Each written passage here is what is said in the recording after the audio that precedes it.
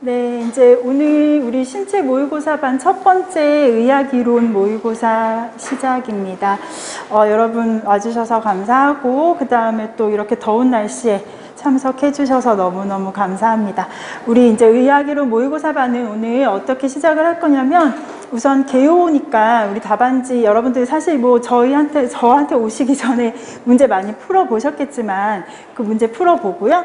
그다음 문제 풀어 보는 방법들 같은 거 한번 살펴보고 그 다음에 본격적으로 문제 풀고 그 다음에 그 문제 열 문제에 대해서 저희가 한번 그 답안지 아 답 어떻게 우리가 이제 좀 문제를 풀어야 되는지 그 다음에 그 답이 어떤 건지 같이 공부해 보는 시간을 갖도록 할게요. 자, 이거 아마 제가 강의한 거여서 아마 아실 거예요. 아실 거지만 한 번 더 살펴보면은 의학이론은 우리 다른 과목이랑은 조금 달라요. 이게 어떤 의학은 그 우리가 알고 있는 논리의 개념이 아니라 과학이거든요. 과학. 딱 답이 정해져 있어요. 딱 답이 정해져 있기 때문에 그 답을 벗어나면 안 돼요. 답을 벗어나면 안 되고, 아유, 딱 답이 벗어나면 안 되고 정확한 답변이 정해져 있어요. 정확한 답변이 정해져 있어요. 키워드가 있어요. 예를 들어서 우리 의학을 이제 문제를 냈을 때 종양에 대해서 물어봤어요. 만약에 양성 종양과 악성 종양의 차이점이 뭐냐 이렇게 물어봤을 때 딱 키워드 하나를 떠올리셔야 돼요. 피막.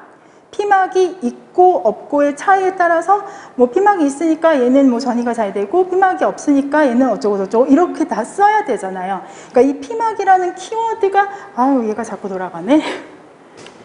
피막이라는 이 키워드가 있고 없고의 차이점에 따라서 너무 달라지잖아요. 그래서 그 키워드를 제대로 써야 됩니다. 그래서 의학이론은 반드시 키워드를 제대로 작성하느냐에 따라서 점수가 달라질 수 있다. 그 부분에 대해서 반드시 기억을 하셔야 되고 하나는 또 질문을 있는 그대로 받아들이셔야 돼요.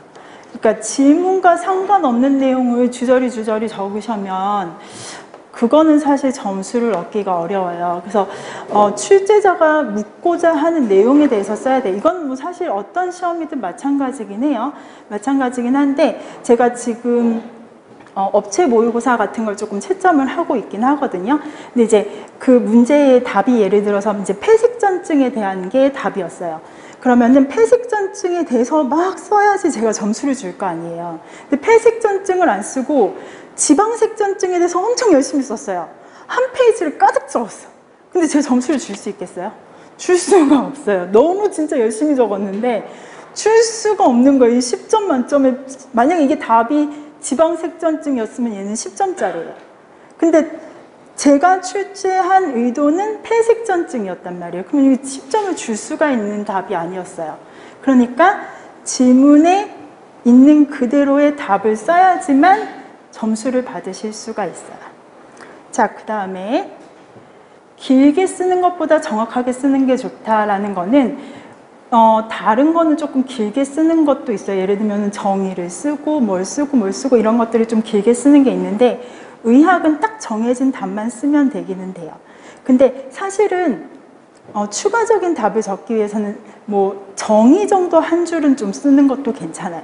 정의 정도는 쓰면 되는데 정의, 원인, 뭐, 뭐, 뭐, 이건 뭐 발병 기전 막 이렇게 주저리 주저리까지 쓸 필요는 없어요.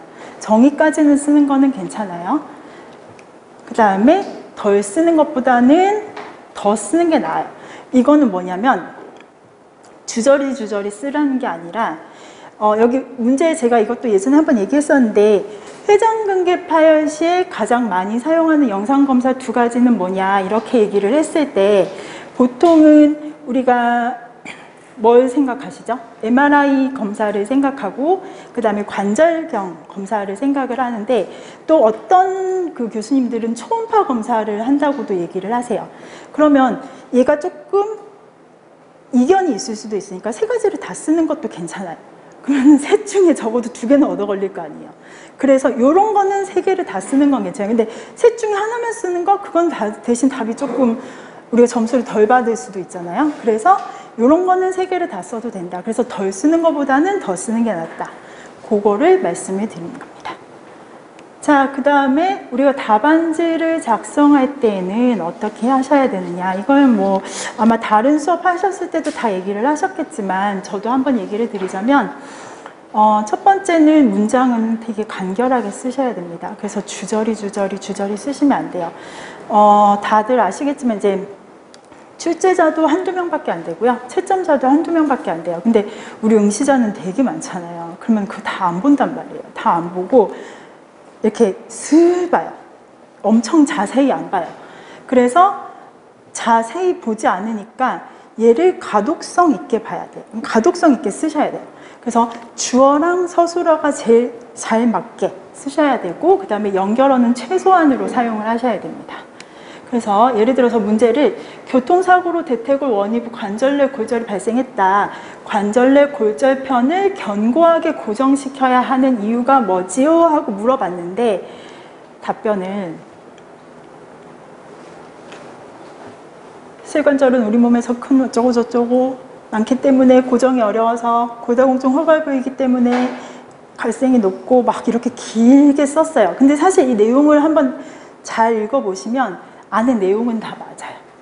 다 맞는데 그냥 길게 쓴 거예요. 그러면 사실 이게 만약에 처음에 이 사람이 출제하는 사, 그러니까 출제자가 채점자가 이 답안지를 처음 봤을 때는 어 괜찮게 썼네 하고 볼 수 있겠지만 나중에 이 채점자가 조금 힘이 빠진 상태에서 얘를 보면 읽기가 싫어질 수도 있어요. 그러면 얘를 조금 더 가독성 있게 보는 거죠. 그러면 어떻게 쓰냐면 1, 2, 3, 4로 조금 나누는 거예요. 최대한 짧게 짧게 짧게. 그래서 첫 번째로는 실관절에는 근육이 많기 때문에 만약에 그 주변에 골절이 되면 이 근육들이 잡아 당겨서 해부학적 고정이 어렵다. 그 다음에 실관절 그쪽 그 대퇴골 원위부는 골다공증 호발부이기 때문에 내고정 장체가 조금 잘 빠질 수가 있다. 그 다음에 관절면 부조화가 일어날 수 있다.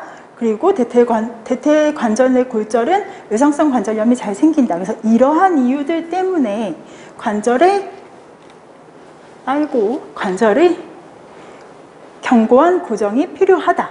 이런 내용을 보기 좋게 쓰셔야 됩니다. 자, 그 다음에 두 번째는 번호와 띄어쓰기를 쓰셔야 돼요. 이거는 아마 잘 하고 계실 거예요. 그러니까 우리 제가 채점을 할 때 보니까 우리가 이제 1번부터 10번까지를 쓰잖아요. 근데 이제 여러분들이 이제 문제를 보면은 1번은 알아. 그래서 1번을 막 썼어요. 근데 2번 문제를 봤더니 2번을 모르겠는 거예요. 그래서 2번 문제는 넘어가고 3번을 알겠어요. 그래서 3번을 썼어요. 그리고 4번을 쓰고 그다음에 나중에 2번 문제가 생각나서 4번 뒤에 그다음에 2번을 써요. 막 이렇게 쓰시는 분들이 실제로 있어요. 그래서 저 채점자가 봤을 때는 이게 1번, 3번, 4번, 2번 막 이렇게 섞여 있는 경우가 있거든요. 그러면은 저 입장에서도 채점하면서 되게 헷갈릴 때가 있어요. 이게 뭐지? 하고 헷갈릴 때가 있고 그다음에 번호가 안 적혀 있는 경우도 있고 그다음에 이게 이제 아마 문제 보시면 아시겠지만 1번 안에 또 가소 문제로 해서 1번, 2번 이렇게 막 섞여 나오는 문제들이 있잖아요. 그러면 그 문제를 또 섞어서 막 답변을 쓰시는 경우도 있어요. 근데 그렇게 쓰시면은 채점자 입장에서는 사실 채점하기가 싫거든요. 그리고 굉장히 헷갈려요. 그래서 그렇게 쓰시면 안 되고 얘도 되게 순서대로 쓰시고 어차피 우리 답안지 막 엄청 많이 주잖아요. 주니까 그냥 한 장 한 장 한 장 다 이렇게 1번은 차라리 한 장씩만 쓰세요. 어차피 빈칸 많아도 상관없어요. 빈칸 많아도 상관없으니까 1번 한 장 쓰시고 2번 한 장 쓰시고 그렇게 쓰셔도 상관없어요. 그렇게 쓰시고 번호를 다 하나씩 매겨서 쓰시는 게 제일 좋아요. 그래서 보시면 이게 이제 2020년 문제인데 회전근개에 대한 문제였어요. 사실 이게 5번 문제였는지는 제가 잘 모르겠어요. 그냥 제가 넘버링을 한 거고 회전근개 문제였는데 첫 번째가 회전근개의 근육 이름을 쓰는 거, 두 번째 손상 많이 되는 근육 이름 쓰는 거, 세 번째가 그 다음에 영상검사 이름 쓰는 거, 네 번째가 치료 세 가지 쓰는 거. 이렇게 해서 나왔으면 이거를 넘버링을 하는 거죠. 그러면은 5-1 이렇게 쓰고 그 다음에 한 칸 한 줄을 띄어요. 조금 보기 쉽게 왜냐면 얘네 붙여놓는 것보다는 보기 쉽게 그냥 띄어놔도 돼요. 제가 아까 말했잖아요. 그냥 한 장에 한 문제 다 쓰라고. 어차피 얘네들 한 장에 한 문제 다 써도 상관없거든요. 제가 아까 말했죠. 여백 많아도 상관없어요. 답만 들어가 있으면 돼요. 여백 많은 거 상관없어요. 아유, 죄송합니다. 자꾸 얘가 돌아가네. 한 칸씩 띄워놓고 그 다음에 2번 쓰시고 또 3 한 다음에 1번, 2번 소 동그라미 쓰시고 이런 식으로 해갖고 번호 넘버링 많이 하셔서 최대한 깔끔하게 쓰시면 됩니다. 최대한 깔끔하게 쓰세요. 자, 그 다음에 우리 이제 또 물론 글자 예쁘게 쓰시는 분들도 계시겠지만 악필도 있으실 거예요. 제 친구 중에 정말 심한 악필이 있어요. 정말 심한 악필. 근데 걔가 한 방에 손살이 붙었거든요. 그 우리가 너 진짜 어떻게 붙었냐? 네 글자를 출제자가 알아봤다는 게 신기하다. 이렇게 얘기를 했었는데 나 최대한 크게 썼어. 글자를 정말 크게 썼어. 이렇게 얘기를 했거든요. 그게 방법이에요. 글자를 내가 그리고 사실 우리가 의학으로는 다행히 1교시여서 아무리 악필이어도 좀 정성스럽게 쓸 수 있습니다. 근데 이제 우리가 3교시가 지나가면 손이 떨리기 시작하고 그다음에 4교시가 지나가면 이제 손목을 잡고 글자를 쓰기 시작하거든요. 그래서 글자를 쓰실 때는 최대한 크게 쓸 수 있도록 하시고 그다음에 뭐 좀뭐 예쁘게 쓰시는 분들은 다행이긴 하지만 좀 가독성 있게 최대한 띄어서 잘 쓰도록 하시면 좋을 것 같아요. 자 그리고 아까 이제 자꾸 제 이 리모컨 컨트롤이 막 넘어와가지고 사진을 벌써 보여드렸는데 이게 무슨 그림이냐면 이제 양동이죠. 양동이에 물이 가득 차 있어요. 여러분이 지금까지 이제 언제부터 제가 공부를 시작하셨는지는 잘 모르겠지만 아마 지금 이 모의고사반에 들어오셨다는 건 그래도 어느 정도 공부를 하셨을 거고 그다음에 이 공부를 하고 아유 자꾸 노네요.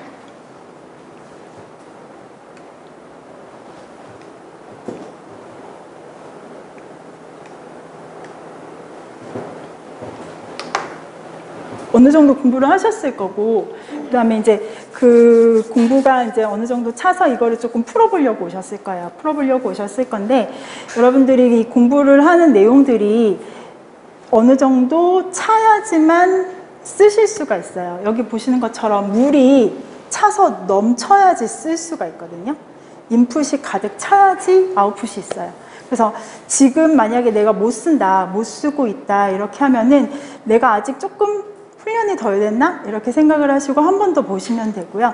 만약에 잘, 내가 조금 잘 쓰고 있다면 내가 그래도 어느 정도 공부를 했구나라고 생각을 하시면 됩니다. 아직 그래도 지금, 지금 이제 아직 두달 채안 남긴 했지만 그래도 열심히 잘 하실 수 있을 거라 생각을 하고 있고 그 다음에 또 지금 보니까 막 그 준비를 좀 많이 하신 것 같은데 잘 공부를 하실 수 있을 거라고 생각을 합니다.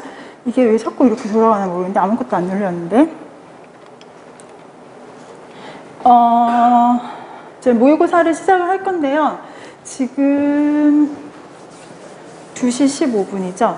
2시 15분인데 음, 한 원래 그 우리 그 의학이론 모의고사 90분 정도 하잖아요. 그러니까 90분 정도 하는데 그 2시 반부터 시작을 할 거예요. 2시 반부터 시작을 할 거고 2시 반부터 해서 제가 지금 저, 저는 원래 사실 90분을 다할 생각이거든요.